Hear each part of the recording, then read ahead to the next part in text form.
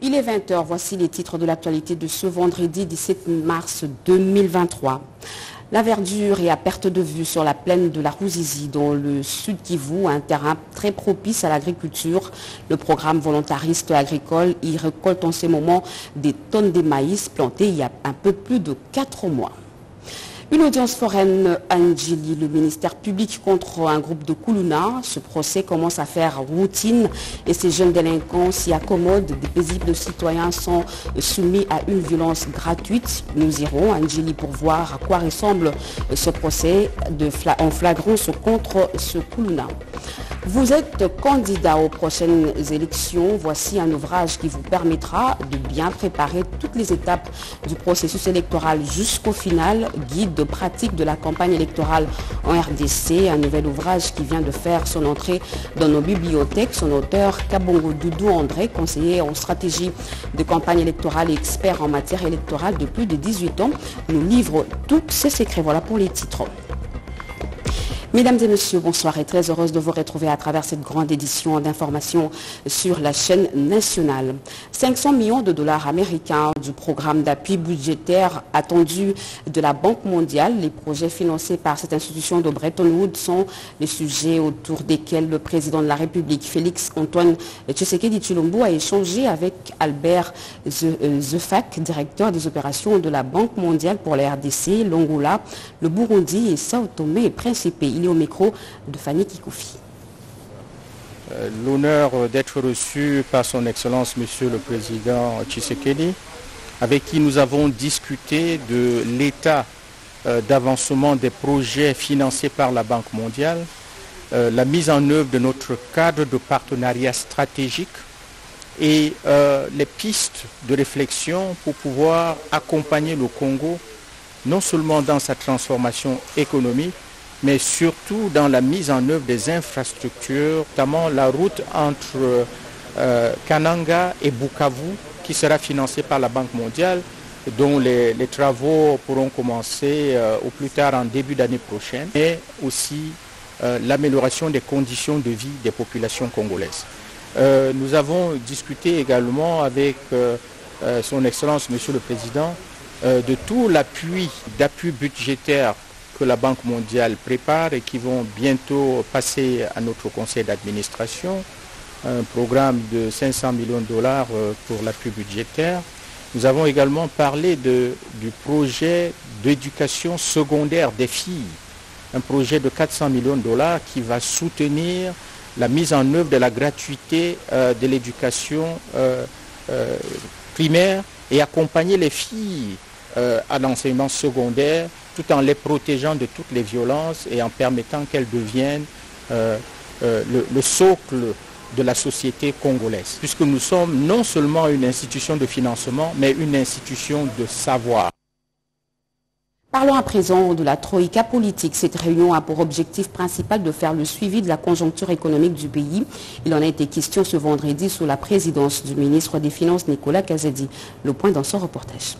La situation du marché d'échange, l'évolution de la masse salariale de 2022 à 2023 en lien avec le cadrage du FMI, la situation des dépenses en urgence, l'examen du plan de trésorerie du secteur public, ainsi que les repères structurels de la quatrième et de la cinquième revue du programme conclu avec le FMI, autant de sujets qui étaient passés au peine fin à la réunion de la Troïka stratégique présidée par le ministre des Finances Nicolas Kazadi.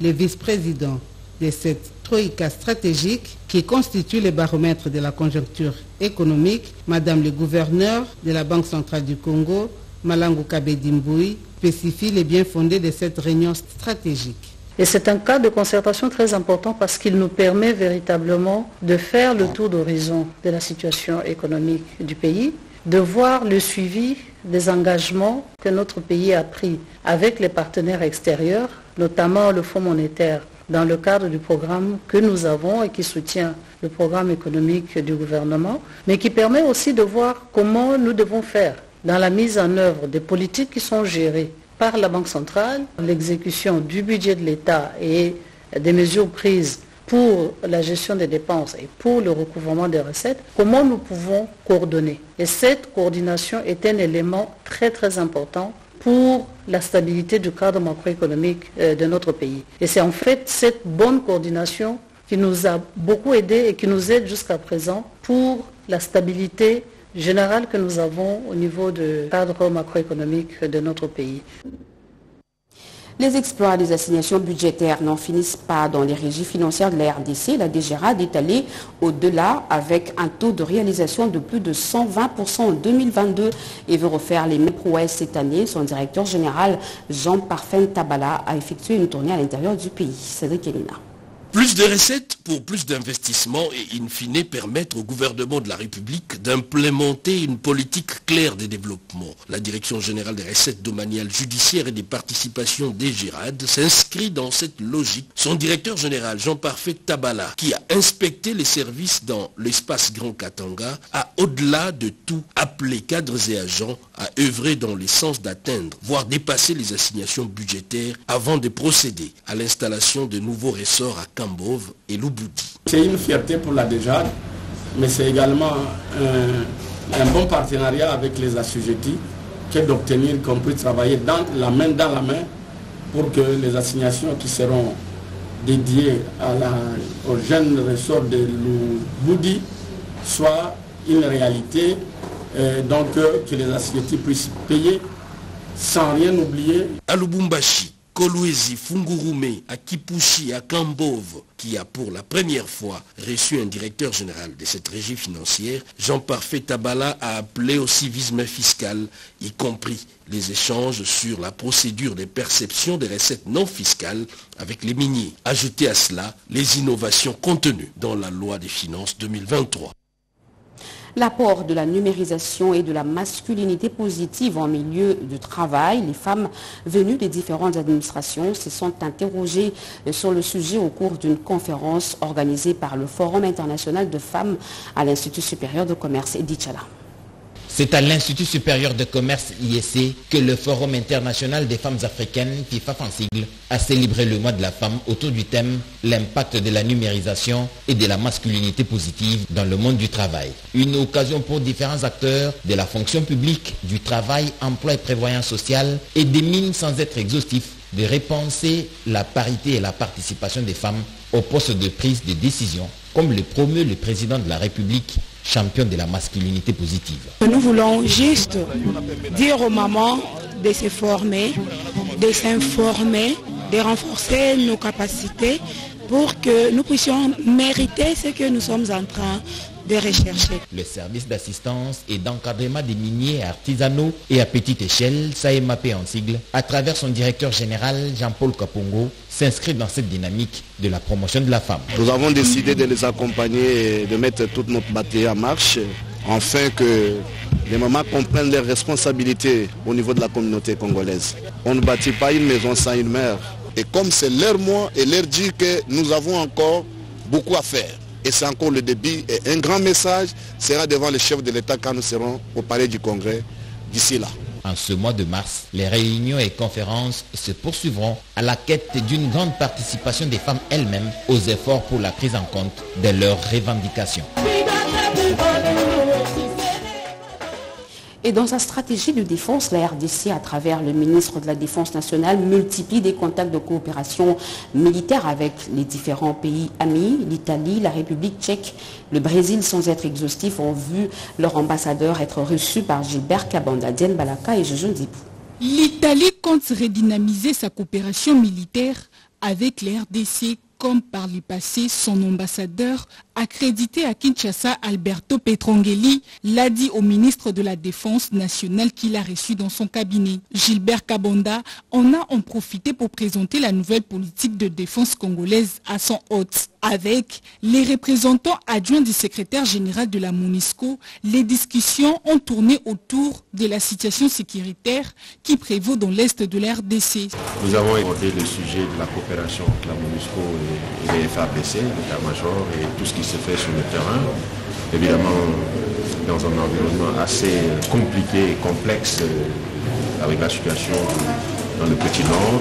Nous avons également abordé le sujet sur le stockage des armes qui ont été saisies ou en tout cas rendues par les combattants des groupes armés à la MONUSCO et qui constitue également un autre sujet sur lequel nous allons coopérer avec le ministère parce que le, principe, c'est que ces armes sont détruites. Le nouvel attaché militaire de l'ambassade du Soudan du Sud accrédité en RDC, le général des brigades Garang Kourkour a également été reçu par le ministre de la Défense. Rien n'a filtré de cette entrevue.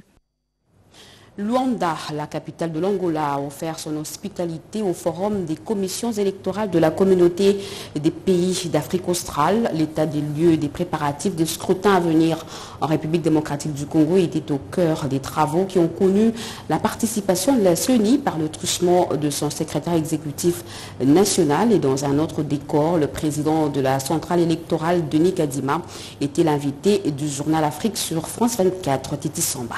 Sur une échelle de 1 à 10, quelles sont les chances que ce scrutin se tienne le 20 décembre prochain Le président de la Commission électorale nationale indépendante de la République démocratique du Congo sous les antennes de France 24, Denis Kadima Kazadi a éclairé la lanterne tant nationale qu'internationale sur l'évolution du processus électoral dans son ensemble. Nos chances sont intactes. Euh, je peux dire on est 10 sur 10 euh, Au moins 7 sur 10, au moins. Euh, tout est mis en place pour que nous puissions tenir les élections à temps. Nous sommes en train d'enrôler là où nous pouvons euh, travailler. Là où, par exemple, à Ruchuru, Massissi euh, et Nirangongo, dans certains des, euh, districts de, cette, partie de, la province du Nord Kivu, on n'y est pas. Mais on avance là, on peut avancer.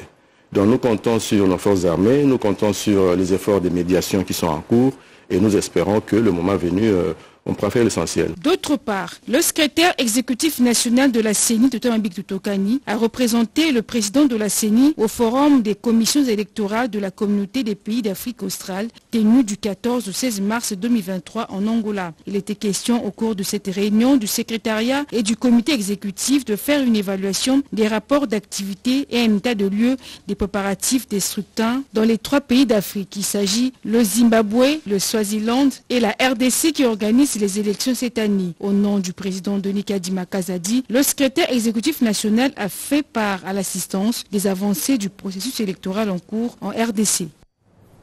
Dikongi Antangana, elle est la haute représentante du Haut Commissariat des réfugiés. Elle a été reçue par la directrice de cabinet adjointe du chef de l'État en charge des questions politiques, juridiques et diplomatiques, Nicole Boitia. Elvira Panto. Les combats entre l'armée congolaise et les groupes armés non étatiques dans la province du Nord Kivu ont fait déplacer plusieurs familles de leur ville natale. L'Agence des Nations Unies pour les réfugiés vient en aide aux personnes déplacées à l'intérieur du pays par le biais d'activités destinées à renforcer la protection des personnes vulnérables, notamment de femmes et enfants. À cet effet, les nouveaux hauts représentants du HCR, Madame Dikongwe Atangana, a été reçue en audience ce vendredi 17 mars au Palais de la Nation par le directeur de cabinet adjoint du chef de l'État chargé de questions politiques, juridiques et diplomatiques, Madame Nicole Tumbabwacha. Leurs échanges ont tourné autour des solutions qui doivent être trouvées par rapport au drame humanitaire dans la partie est de la RDC. Elle a partagé avec moi les expériences euh, des anciens endroits où elle était euh, euh, basée. Elle a jugé bon d'apporter son expertise à, la RDC et nous faciliter justement les voies pour essayer de trouver une solution à notre problème humanitaire. Euh, elle a estimé venir avec euh, un cadeau, mais un cadeau particulier. C'est vraiment, elle nous a montré des sacs en pagne. Euh, confectionnés par les personnes déplacées de l'Est. Elles aident psychologiquement et surtout avoir cette impression de regagner la dignité en se sentant comme utile encore à la société. Et le pagne qu'elle m'a offert justement, c'est un pagne de HCR pour montrer que vraiment le HCR est bien ici au service de la nation. Les hauts représentants du HCR qui placent son mandat en RDC sous les signes de la collaboration constructive avaient présenté ces lettres de créance en avril 2022. Et comment la CNDH compte-t-elle s'impliquer dans le processus électoral en République démocratique du Congo, à la paix et à la justice transitionnelle? Ce sont là les sujets débattus lors des échanges entre le président de la CNDH, Paul Sapoumakoulou, et l'ambassadeur suisse, Louisen Sakala. La Suisse est intéressée au défi des droits de l'homme en République démocratique du Congo. C'est ce qu'a affirmé son ambassadeur accrédité en RDC lors de sa rencontre avec le président de la CNDH, Paul Sampou Moukoulou. Jasper Sarotte a saisi cette opportunité pour rappeler à Paul Sampou les différentes actions que mène son pays dans les domaines des droits de l'homme. Pour rappel, la Suisse abrite les sièges d'un organe important de l'Organisation des Nations Unies, qu'est le Conseil des droits de l'homme. Victime d'un incendie gigantesque, la maison communale de Kipesi au Nord Kivu aura bientôt un nouveau bâtiment, un don du ministre national de l'Industrie Julien Paloukou. Eric Kabamba. C'est sur cet espace de plusieurs hectares que sortira un nouveau bâtiment qui abritera la maison communale de Kipesi, autrefois victime d'un incendie gigantesque par les inciviques il y a de cela six ans. Les travaux de construction de ces bâtiments, lancés par le ministre de l'Industrie Julien Paloukou Kaunga, seront financés par la fondation portant le même nom. La première pierre du début de ces travaux a été posée à la grande satisfaction des travailleurs de cette commune qui voient déjà les bouts des tunnels de leur calvaire. Fin du calvaire également dans la commune voisine à Loubérou où le corps d'une personne décédée ne sera plus transporté par la main ou sur la moto.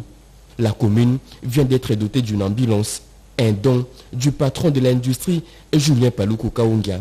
Devant tout le personnel de cette municipalité, il a annoncé la prise en charge des frais de carburant et d'entretien de ces véhicules pendant pratiquement trois mois.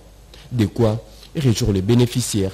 Manquer de respect sans le vouloir pour les morts, puisqu'il fallait les transporter sur des motos, sur des brancards, qui ne nous pas. Bien avant de regagner Kinshasa, le numéro 1 de l'industrie s'est rendu à Moussienene où il a procédé à la remise d'une morgue à l'hôpital général de référence. Partout où il est passé, Julien Paloukou a appelé la population à s'enrôler massivement pour participer aux prochaines élections législatives et présidentielles. Le projet présidentiel d'implantation de la centrale photovoltaïque à Chikapa, à 20 km de la ville de Mbujimaya, avance d'une manière exponentielle. Une mission diligentée par le directeur général du FPI a fait ce constat positif, le dit Alain Bikaï. Après notre passage sur ces sites, nous voici encore sur les lieux à Chipuka, vingtaine de kilomètres de la ville de Mbujimai, pour constater l'évolution des travaux.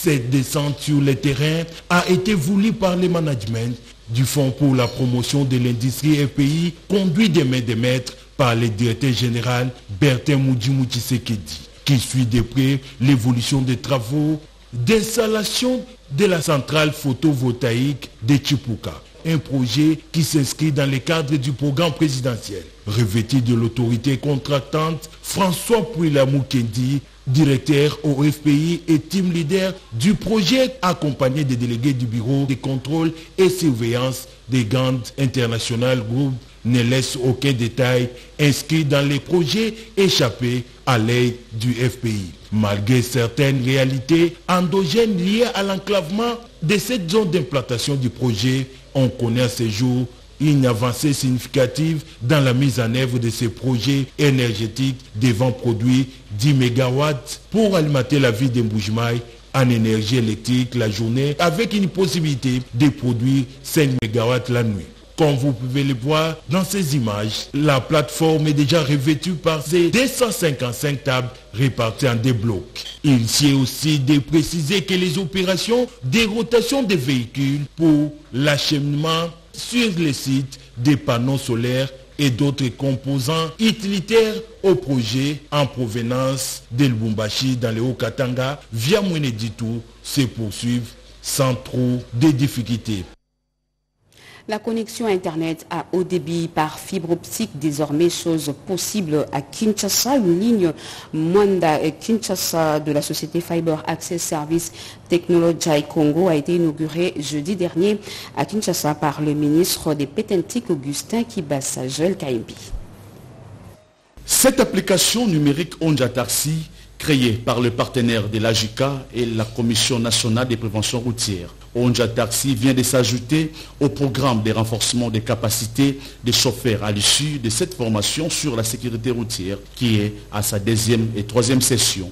Initiée par la CNPR avec l'appui de l'Agence japonaise de coopération internationale, cette application va permettre aux participants d'identifier et vérifier les comportements et les informations concernant les personnes à bord des véhicules pendant le temps de travail, ainsi que les usagers des transports en commun de connaître le numéro d'immatriculation des engins afin de démanteler les réseaux des malfrats et les types de véhicules. La sécurité routière au jour d'aujourd'hui est une préoccupation mondiale. Au chapitre de respect du code de la route, les conducteurs de taxis et taxibus ainsi que les motocyclistes ont été rappelés aux principes et règles du code de la route en respectant les panneaux de signalisation. Et notre espoir est que le code de la route devienne la Bible du conducteur. Dans ce sens que le chauffeur doit toujours s'interroger quand il est au volant. Est-ce que ce que je fais conforme à l'articulation du code de la route Les formateurs ont éclairé les participants sur la protection des usagers en cas d'absence des panneaux de signalisation routière pour éviter des accidents mortels. Vous avez pu corriger avec moi, on vient de suivre la formation des conducteurs des taxis, bus, taxis et ainsi que les motocyclistes qui ont été sensibilisés sur le code de la route, la protection des usagers sur la route. Et bien, revenons sur la connexion à haut débit à Internet à Kinshasa qui est désormais chose euh, possible avec le lancement de la fibre optique à Kinshasa par le ministre des Pétentiques, Augustin Kibas Maliba. Fil de verre extrêmement fin, la nouvelle ligne de la fibre optique Kinshasa-Moanda est désormais opérationnelle. Dans l'enceinte de la gare centrale de Kinshasa-Ouest, les ministres de Postes, Télécommunications et Nouvelles Technologies d'Information et de la Communication, mais aussi plusieurs personnalités venues de différents coins du globe pour la circonstance. Par ces contrats signés il y a une année, la société Fiber Access Service Technology Congo, Fast Congo, offre au gouvernement congolais une connectivité au monde de qualité. Nous espérons que cet événement est euh, le premier d'une série qui s'inscrit dans la vision du président Félix-Antoine Tshisekedi d'accélérer la transition à l'économie numérique de la République démocratique du Congo. Augustin Kibasa Maliba, ministre des Pétantiques, s'est dit fier d'ajouter une nouvelle réalisation dans l'essence de la vision du président de la République. L'inauguration officielle de la liaison Kinshasa-Mwanda ce jour consacre notre détermination à doter d'une part à la République des infrastructures de qualité et d'autre part à la population un service haut débit à moindre coût. L'accord prévoit que Fast Congo fournira des services Internet en gros aux opérateurs de télécommunications. Il assurera aussi les réparations de tout dommage pouvant entraver le fonctionnement de cette infrastructure télécom à haut débit. Des tonnes de maïs sont sorties de terre de la plaine de Rouzizi. Nous sommes au sud Kivu dans le cadre du programme volontariste agricole, une œuvre de la bio-agro-business dans cette partie du pays en vue de lutter contre l'insécurité alimentaire. Yvette Makuntima. Grâce à la bio-agro-business, la plaine de la Rouzizi, située dans la partie est de la République démocratique du Congo, va jouir de produits de ces terres. La population locale va consommer pour la toute première fois la farine de maïs sortie de leurs terres, avec une stratégie agricole d'encadrement des paysans mise au point par la bio-agro-business, gestionnaire du programme volontariste agricole, la matérialisation de la vision du chef de l'État, le peuple d'abord, à Rouzizi, dans le sud Kivu, est une réalité. Pour cette réussite, le directeur général de cette entreprise, Kachi Mulumba, exprime sa satisfaction. Le meilleur moyen de combattre la sécurité alimentaire, c'est en accompagnant les entrepreneurs comme Maman Voumi, qui aujourd'hui a produit du maïs dans son propre champ. Merci pour tous les efforts que vous avez accomplis. Nous serons toujours avec vous pour vous aider à faire encore beaucoup mieux. Et Maman Voumi n'est pas seule, bien sûr. Il y a beaucoup de mamans qui ont été aussi encadrées et accompagnées dans la plaine de la Rouzizi. Les paysans ayant suivi l'encadrement pour cette saison agricole n'ont pas tardé à donner leurs impressions. Remercions notre président de la République pour ce qu'il fait pour la femme. À travers ces projets, cette société BAB, nous trouvons qu'il a pensé à nous les femmes rurales qui portons nos familles à travers l'agriculture. Aujourd'hui, avec cet exploit accompli par la bio-agro-business, la plaine de la Rouzizi ne sera plus sans nul doute victime de l'importation des produits de première nécessité tels que les maïs. Pendant son séjour dans la ville de Kananga, le secrétaire général de l'UDPS a réconforté les victimes de massacre de Kamounan Sapou. À cet effet, Augustin Kabouya a réclamé la justice et l'indemnisation pour ces dernières. Alain Bikaï. Malgré son agenda trop chargé, le numéro 1 du parti présidentiel a trouvé le temps pour réconforter les victimes des massacres de Kamounan Sapou de 2016. C'est à la résidence du gouverneur du Kassai central que ces derniers ont eu à échanger avec l'émissaire politique de Félix Antoine Tshisekedi. Tour à tour, les autorités coutumières et les représentants de ces victimes ont réclamé la réparation par les gouvernements congolais. Une démarche soutenue par le gouverneur de cette province, John Kabea Shikai au nom des politiques, Augustin Kabouya a demandé pardon aux victimes de ces atrocités instigées par les politiciens pour leurs intérêts personnels avant de leur assurer son soutien. Plus jamais sans dans l'espace Grand Kassai, toute différence doit être réglée d'une manière pacifique, a insisté Augustin Kabouya. Organisation de défense des droits de l'homme, ils doivent veiller sur ces cas on ne peut pas tuer les gens comme des chiens, comme des animaux comme ça et aller dormir tranquille. Et ça ne peut pas se faire comme ça. Pour encourager les chefs de l'État à continuer son combat de développement de la RDC, les outils de travail lui ont été remis par l'entremise du secrétaire général Augustin Kabouya. Et nous vous l'avions dit à l'entame de ce journal, une audience foraine en Gili, le ministère public contre le groupe de Koulouna. Ces procès commencent à faire routine et ces jeunes délinquants s'y accommodent. Des paisibles citoyens sont soumis à une violence gratuite. Nous irons, nous allons présentement à Gili pour voir à quoi ressemble le procès en flagrance contre ces Koulouna avec Oscar Balkaïch. Une quarantaine de jeunes délinquants, communément appelés Koulouna, à la base de l'insécurité dans plusieurs quartiers de la commune d'Endjili, répondent de leurs actes devant la justice. Cette audience foraine, présidée par les procureurs près le tribunal de grande instance de Kinshasa-Ndjili, Roger Nguema, a consisté dans la confirmation des charges de ces délinquants urbains arrêtés la main dans les sacs. La lutte contre les phénomènes Koulouna va se poursuivre a martelé les bourgmestres de la commune d'Endjili, Papingaliema. Nous allons traquer le Koulouna jusqu'à leur dernier retranchement. Nous n'allons pas baisser les bras. Et je vous promets, la semaine prochaine, il y aura encore une sixième audience. Parce qu'ils sont nombreux. Dans nos cachots, nous avons encore des Koulouna que nous avons gardés pour condamner et amener tous ces Koulouna à Makala pour que la population d'Endjili vive dans la paix et dans la quiétude. Nous interpellons tous les parents de retenir leurs enfants et d'interdire à leurs enfants de pratiquer ce genre d'actes. Nous voulons que la population vive dans la paix. Ce sont les instructions du chef de l'État et que nous allons appliquer jusqu'au bout. Cette audience augure une série d'autres audiences foraines qui va déboucher sur la condamnation ou non de ces hors-la-loi. Dans nos Katanga, nous apprenons la libération des prisonniers par grâce présidentielle. Regardez. Le centre de rééducation de la Kassapa a vu quelques-uns de ses pensionnaires être libérés. En effet, en application de l'ordonnance présidentielle de mesure de grâce prise par le chef de l'État, le parquet général près la cour d'appel du Haut-Katanga a procédé à la libération de plus ou moins 40 prisonniers. C'est le directeur de la prison de la Kassapa qui a signifié en premier lieu aux prisonniers le sens de la manifestation.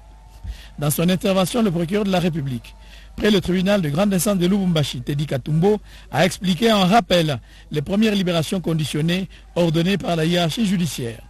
Dans sa communication devant les compatriotes privés momentanément de leur liberté, le procureur général, près la cour d'appel du Haut-Katanga, le haut magistrat Rockefeller Lokamona Massankar, a donné le sens de l'ordonnance présidentielle. Pour décongestionner la prison et prouver sa bonne volonté de compatir aux souffrances des détenus, le président de la République, son Excellence Félix-Antoine Tshisekedi Chilombo, magistrat suprême, a pris cette décision.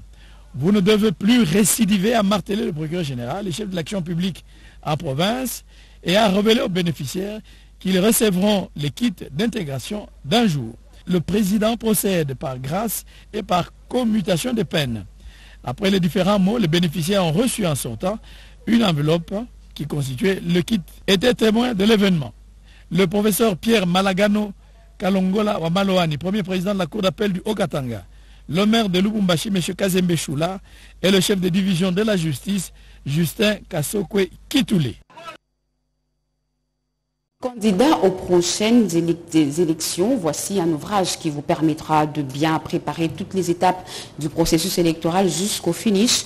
Guide pratique de la campagne électorale en République démocratique du Congo, un nouvel ouvrage qui vient de faire son entrée dans nos bibliothèques. Son auteur, Kabongo Doudou André, conseiller en stratégie de campagne électorale et expert en matière électorale des plus de 18 ans, il livre ses secrets à ses, lecteurs, à ses, électeurs, à ses lecteurs. Le guide pratique de la campagne électorale en RDC, cet ouvrage d'une centaine de pages renferme une portion susceptible de permettre aux candidats aux élections de faire recette, car elle permet aux candidats de gérer efficacement la communication politique pendant la campagne, qu'il s'agisse des élections présidentielles, législatives, locales, voire syndicales au niveau des entreprises et d'autres services de l'État. C'est donc un tout une panacée pour remporter la victoire face aux autres candidats aguerris et expérimentés. Son auteur, Kabongo Doudou André, conseiller en stratégie de campagne électorale et expert en matière électorale de plus de 18 ans, avec une expérience nationale et internationale dans l'observation électorale, a mis à la lumière de secrets afin de permettre à ses électeurs de répondre à la question comment conquérir des millions d'électeurs congolais face à des centaines de programmes électoraux élaborés par des milliers de candidats en compétition. Ce livre porté sous le fond baptismal par M. Georges Yamba Ketel, devant une frange de députés nationaux, futurs candidats de la SENCO et des élites congolaises, tombe à point nommé. La jeunesse est en train de venir. La jeunesse doit être formée. C'est sur base des documents, des connaissances condensées dans ces livres. Nous donnons des orientations stratégiques pendant la campagne, vous vous retrouvez dans une situation, comment est-ce qu'il faut faire? Cet ouvrage vise à contribuer au renforcement de la législation sur l'organisation et le fonctionnement des partis politiques en RDC en contribuant à la création des écoles de formation idéologique d'une part et de l'autre à la moralisation de la vie politique congolaise et au renouvellement de la classe politique. Les œuvres sur la femme étaient sous le feu de projecteurs. Les artistes, sculpteurs, peintres, photographes ont exposé leurs œuvres sur la junte féminine, une manière de faire voir au grand public les valeurs intrinsèques de la femme, Emmanuela Commissaire. Le corps féminin dévoilé dans toute sa splendeur et son essence. Beauté et bonté incarnées, femme forte, capable de se surpasser, mère, porteuse d'une vie. Ici, l'être féminin est au cœur d'une exposition collective dans la galerie Palanca.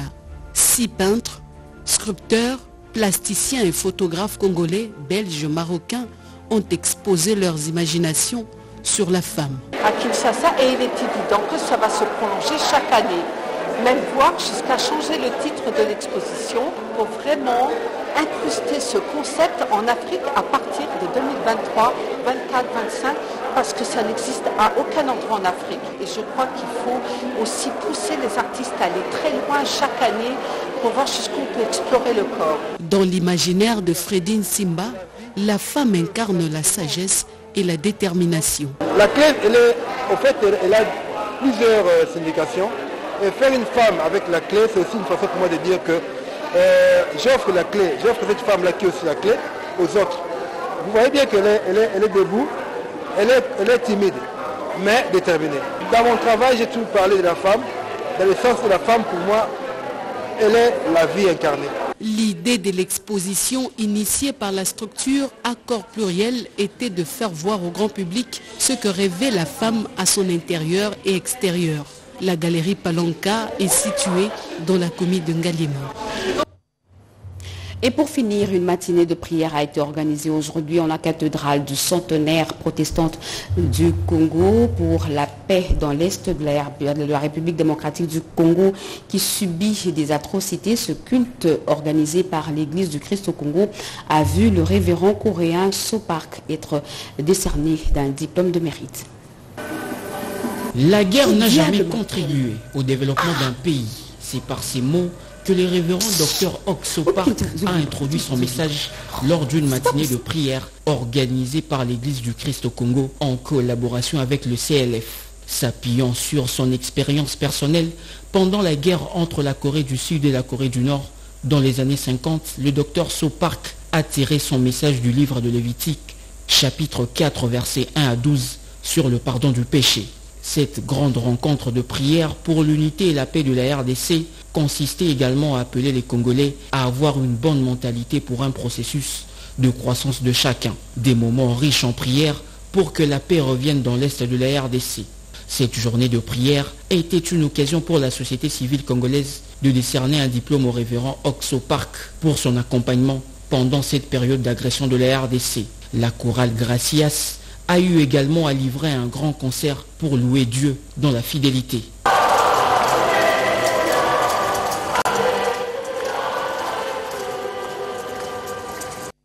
Et en nouvelle, c'est depuis ce matin que le gouvernement militaire du Nord Kivu a repris le commandement des opérations. La passation du pouvoir a eu lieu à Goma entre les lieutenants généraux Mbangu Marcel et Constant Dima qui a pris la conduite des opérations. On y reviendra avec force détail dans nos prochaines éditions. Fin de ce journal, mesdames et messieurs. Merci de l'avoir suivi. Merci à vous qui nous suivez à Banda, Lungwa, à Kinshasa et partout ailleurs sur satellite. Vous êtes sur la RTNT. L'actualité continue sur nos antennes retrouvées à 23h. José Baïtouambo, moi, je vous reviens demain à 20h avec le même plaisir. Excellent début de week-end à toutes et à tous. Au revoir et très bonne suite au programme sur la chaîne nationale.